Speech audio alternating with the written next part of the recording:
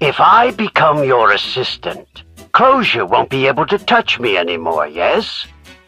I'm aware of her extreme interest in me, but her planned modifications on my body are both ridiculous and unacceptable. They're an insult to a scientist, and I won't allow it even in my current form. Why would humanity grow horns and tails? This stage of biological evolution is past my parameters of understanding.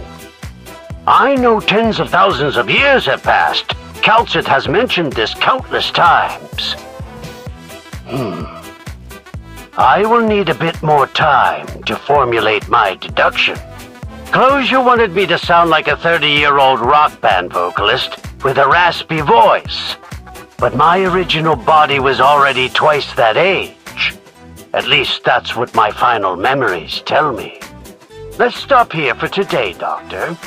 I have to go over to Kal'tsit's office. She must be needlessly burning the midnight oil again. A soul driven by her sheer sense of mission to trudge on for tens of thousands of years. Just to stop what exactly?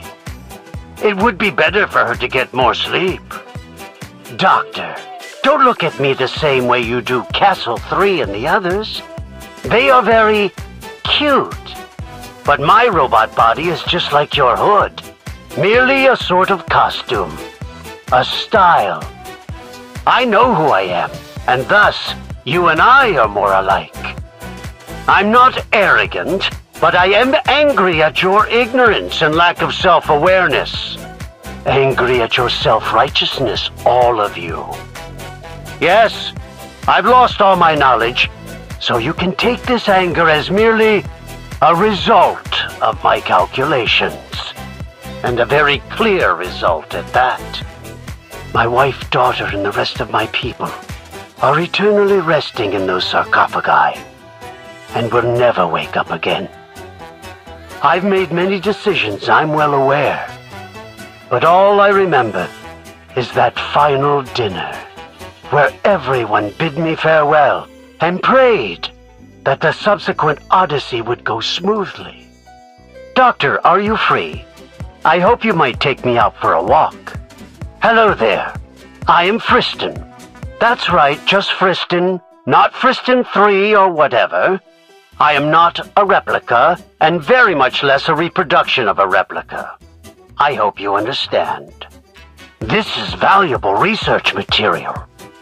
I shall require a copy for myself. Doctor, which sector do you need me to take charge of? Am I to lead everyone and find a new direction?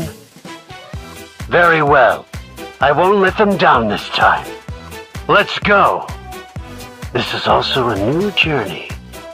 Danger detected. I will relay our combat strategies to Thermal-EX and Lancet 2. I am naturally capable of more than Thermal-EX and the others. I will shield them on the front line. As long as I'm still standing, no one will come to harm. I will not fall. Are you all staring at my expression doodle? Your behaviors have been recorded and archived. Where's your leader? I need to talk.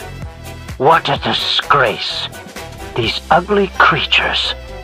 Doctor, your thinking routines and command style are very much distinct and different from the others. I guess some things never change.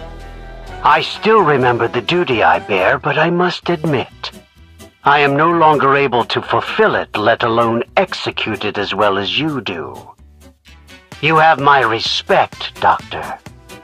An Odyssey will always have nigh avoidable accidents, and a plan might always go wrong. They may be painful to accept, but what else can I do? Except accept them. If the worst possible outcome is turning into something like me, then there is nothing to be afraid of. Doctor, you should evacuate first and leave the rest to me. I would like to stack all of my borrowed ecological research materials over here. I trust there will be no issues with that. You should have observed my expression doodle. Currently, it's anger. I've taken a photo of you, Doctor. You want to see it? Sorry, I've already saved it to my archives. How do you do, Doctor? Arknights.